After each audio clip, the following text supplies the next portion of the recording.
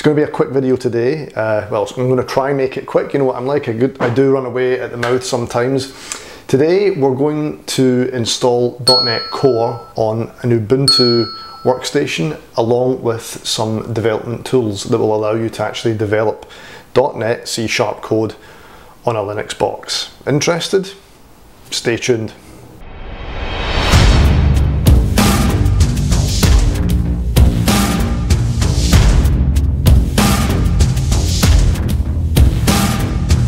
Well, hello, good morning, good evening, good afternoon, wherever you are, whenever you are. What's today? It is, I've got it on the screen here, it's Tuesday the 4th of September 2018. I'm going to start doing that now because these videos could quite uh, quickly go out of date. So, you know, now is now and it's very current now. But if you're watching this a few years from now, you may want to consider whether it's still the latest video that you want to watch. Anyway, I hope the content is still relevant. So in today's video, um, we're going to install some, uh, we're going to install .NET Core software development kit on an Ubuntu box along with Visual Studio Code and Git. Is there anything else? I think that's it. So let, let's begin. Okay, so I chose Ubuntu as my flavour of Linux everything just seems to work really well on it, um, whereas I've had problems with, with other instances of Linux. So that's why I've chosen Ubuntu, but you can use any version of Linux and any Debian, is that the right way of pronouncing it, Debian uh, package, uh, package-based Linux distribution, this video will work for. If you're using a Red Hat uh, uh distribution, uh, it'll probably be slightly different. I'm going to make my terminal bigger because people said, you know, that it's very difficult to see, which is a very fair comment. So there we go, made it nice and big for us to get going. So first thing we're going to do is we're just going to do an update of our system. Just making sure all the packages are up to date. Now the sudo command uh, means super user do. Is that too big? I think that's maybe too big. Let's take it down a notch, eh? Zoom out, that's a bit better, isn't it? Yeah, okay, so there's nothing really to do. We're up to date. I made sure we did that anyway. Now, what I'm actually going to do first is install a Git. So, well, actually, let's, let's check to see if Git is installed. Not, okay, so we will in, install Git. Okay, uh, so yeah, sudo apt install git. Do you want to continue? Yes, of course we do. Now Git, as you know, is just a code repository. This is a local version on this PC. The reason we're installing it is it's just a good thing to have and also Visual Studio Code, which is the text editor that we're going to install, kind of complains a wee bit if you don't have it. It's fine, you can kind of, you know, cancel the complaining, um, but it's just, it's just a good thing to have anyway. Let's just check we got it. Okay, so we've got Git installed. So we're going to install .NET Core now. So I just want to take you to the Microsoft website. Well, of course, we will use Google to do that. Uh, crazy, isn't it? Really, really should stop doing that. Um, and we go to the, the download page. Now, because it knows we're running on a Linux distribution and it selects the Linux tab here by default and here we are .NET Core the latest version is 2.1 that's cool. But I just want to draw your attention to if you're running Windows you would get the choice of .NET Core and .NET Framework. Now I'm going to do a video on the differences between .NET Core and the .NET Framework uh, later on, um, but I just wanted to draw your attention to the fact that we're running on Linux, it's selected, we knows we're running on Linux, all we can do is download and install .NET Core. Now you get two options here, you get, um, you know, if you want to build apps, you can install the .NET Core Software Development Kit, or if you're just running apps, so if you're maybe deploying servers to run uh, .NET Core code, you would install the runtime. Again, maybe it gets a bit confusing. What we're going to do is install the software development toolkit, and that actually includes the runtime as part of that.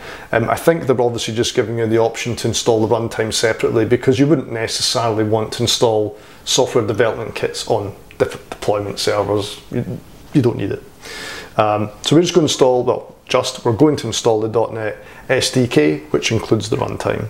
So pretty decent website from Microsoft. You select the version of Linux that you are wanting to use. So we're, we're on 18.4 and it just takes you through the, the steps that you need to do here. So I hate doing this, but I mean, you can see here, this is a relatively long thing you need to type. Uh, so I'm just going to cut and paste it in. Um, and this is basically, as it says here, before installing .NET, you'll need to register the Microsoft key um, and register the product uh, repository so that we can get the relevant dependencies. So we're just going to paste that in here. Hit enter. Cool, it's done that not complained and then we'll just do this as well. Again I, I I do hate cutting and pasting. It seems a bit pointless you know but I'm sure I would make a lot of mistakes if I typed that in. So that's just done the pre pre work uh, we just registered the Microsoft stuff. Um, and then we now need to do these uh, next three steps. So um, yeah let's just follow the Microsoft instructions. This looks like we're installing some kind of transport HTTPS transport, there we go. Goes away and it does that, fantastic. Um, again, I think it's just asking us to do this update. We've already done this, but let's uh, just do it anyway. Oh. Missed the S off it. Okay, we're all good. And then finally, we'll install the .NET SDK, and the version here is 2.1, which is the latest version. Yep. And it will go off and do that.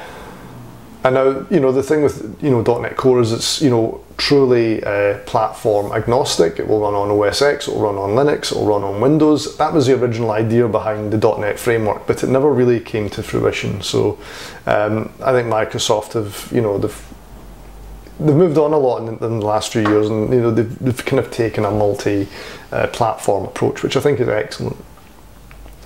And from what I've used of .NET Core, it actually seems really nice.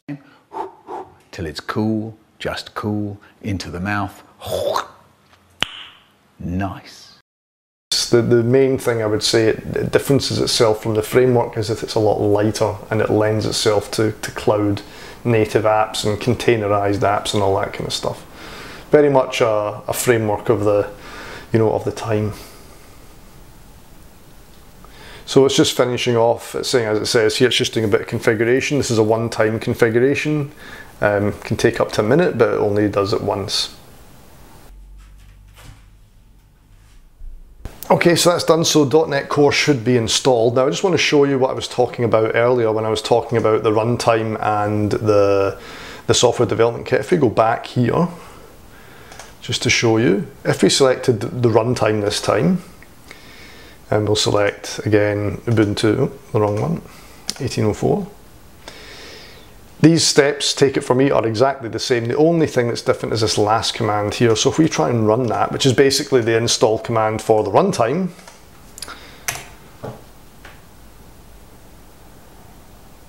it also already it says here we've already got the newest version of the runtime installed, which was installed as part of the software development toolkit. So I just want to show you that just to make sure that you know you're not missing out on anything. And you can check to see that it's um, installed by going uh, in a very similar way uh, as we did for Git. Most of the commands around .NET Core are use the .NET um, keyword. In the same way, we just type version and we go, we've got version 2.1 installed. So that's uh, all, all good. Okay, so we could just leave it at that. We've installed .NET Core and we have installed Git, so that would be enough to get you developing. Um, if you wanted to use one of the editors that came with Linux, like uh, Vim or Emacs or gedit.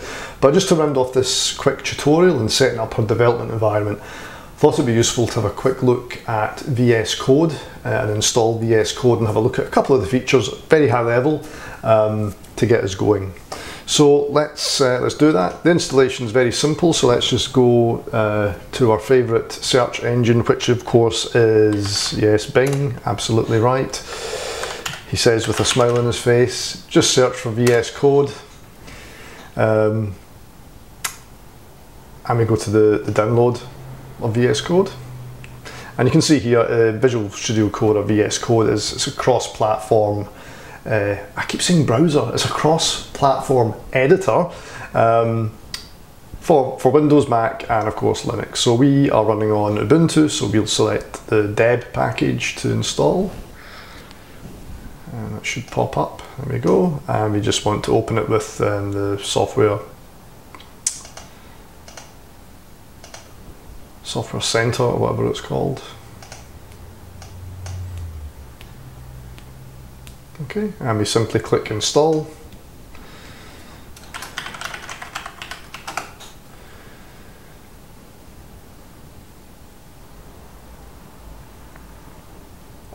Okay, great, that looks like it's installed. Let's just, yep, it's installed. We can remove it if we want, but we don't want to do that just yet. So we'll just go down to the application launcher and if we scroll down, I'm sure it will be there. There we are, Visual Studio Code. Let's open it. Now again, not a full tutorial on Visual Studio Code, I just want to point out a couple of key features. The first one is this uh, thing called extensions, which is other text editors have a similar concept. Basically, you can load in um, definitions for various languages so that you get, you know, code highlighting and all that kind of stuff, debugging and all those useful things that you want. So the one that I would recommend for C Sharp and Visual Studio Code is this one here. It's called C Sharp for Visual Studio Code, um, and it just gives you a bit of jargon about it there and what it does. Um, over seven and a half million downloads with four stars. It's it's it's, it's pretty decent. So let's install that. Uh, while that's happening, it's very quick. Uh, there are other extensions you can load for other languages and other bits and pieces like that, which you can explore at your own leisure. So that's installed now, so that just gives us that nice debugging capability, color-coded text, and even the IntelliSense drop-down, which is super, super useful. Um, I would not be able to do a lot of coding if I didn't have that, I have to say. So the other nice feature of this is there's an integrated terminal window. Basically, it's just like a terminal window that you could launch outside, but it's integrated, which is quite nice. So what we're going to do now is we're actually going to use the terminal to create a new application, a template, application template. And what do I mean by that? Well, hang on a second. So before we do that, let's just get into the right place and we'll create a, a directory for our project. So go into my documents, we'll make a directory, we'll call it something like code, move into that uh, directory. And then over there, all you need to do at the command line is type .NET, as most things with .NET Core Framework will do, they'll start with .NET, uh, new, to create a new application. Now before we pass anything else to it, if we just hit enter there, what that actually gives you is some help on what are called templates that are available. So we're just going to create a console application, but as you can see there, there are lots of other templates. Um, for example, ASP.NET Core um, MVC application. It will create a template, empty template project for you. So again, you can explore that at your leisure, but for now, we're just going to create a very simple console application.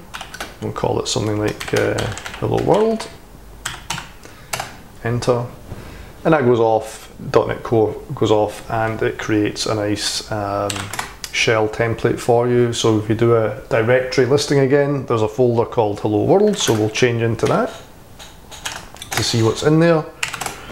And you can see there are two files, program CS, which contains the program code we've got so far, and Hello World CS Proj, which is a project configuration file. And we've also got a directory with um, some objects in it.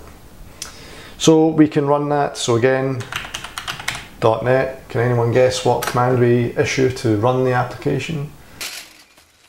Run, Forrest, run! That's right, run. And all it does is just print hello world to the console, so nothing terribly dramatic. The only other thing I want to show you here is if you do a listing again, can you spot the difference? yeah, we've got a bin directory now because it's basically compiled the code that we have. So, final thing I want to show you is we can just open that project in Visual Studio Code by opening a folder. Uh, it's already got documents and code selected, so we just select the folder that we want. Click OK.